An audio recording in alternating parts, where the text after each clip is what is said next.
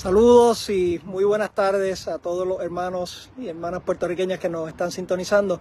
Gracias por sacar unos minutos de su noche para escuchar este breve mensaje. Eh, como bien saben, la estadidad y la lucha por la igualdad ha sido una causa que me apasiona. Es la causa que me motiva, es la causa que añoro para que todos los hijos e hijas de nuestra tierra puedan tener el trato igualitario que así se merece. Que podamos tener el poder político que nos permita adelantar todas las causas importantes para Puerto Rico y que podamos estar de tú a tú con el resto de los ciudadanos americanos. En los pasados años han pasado ciertas acciones muy positivas en torno a adelantar la igualdad y la estabilidad para Puerto Rico. En primer lugar, eh, Puerto Rico ha decidido en tres ocasiones consecutivas que quiere la estadidad.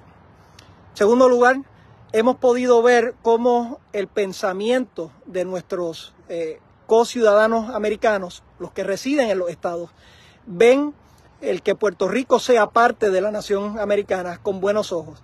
Eh, dos de cada tres americanos que tienen una contestación lo dicen en el afirmativo demostrando que sí hay el espacio y sí hay el interés, el interés del pueblo americano para eh, que Puerto Rico sea parte integral de la nación americana. Y por supuesto, hemos visto cómo en el pasado año, año y medio, se ha podido trabajar para llegar a acuerdos y para llegar a un proyecto de consenso que pueda entonces establecerse y eh, que tuvo el visto bueno de la Cámara de Representantes. Ahora comienza otra etapa de esta lucha. Eh, cada vez continuamos acercándonos, pero no podemos dejar de seguir luchando y de seguir trabajando.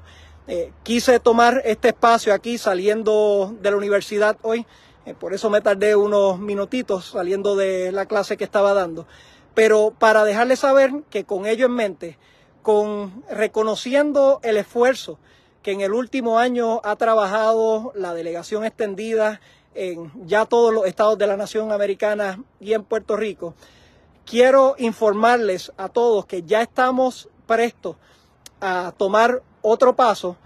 El 5 de junio al 7 de junio haremos la tercera toma de acción en el Congreso.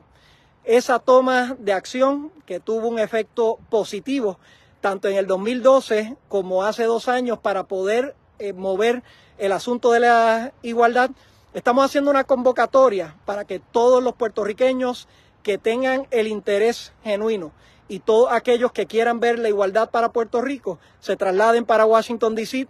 del 5 al 7 de junio para poder impactar en la sesión congresional. Nuestro objetivo, educar, orientar y dirigir a esos congresistas a que den su apoyo y su voto para que Puerto Rico pueda tener un proceso vinculante y que seamos los puertorriqueños los dueños de nuestro destino y que podamos determinar de una vez y por todas erradicar los 500 años de coloniaje y hacer una transición justa y digna hacia la igualdad que nos otorga la estadidad. Buenas tardes a todos, gracias por la oportunidad, los espero aquí en Washington, D.C y que Dios les bendiga.